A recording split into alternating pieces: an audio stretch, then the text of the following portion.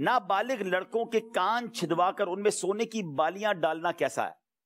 छोटे बच्चों के कान छिदवाना नजायज़ हराम है, और इनमें सोने की बालियाँ और दिगर जेवरात डालना भी नजायज़ हराम है। नीज, सोने की बालियाँ और जेवरात डालने वाले गुनागार होंगे।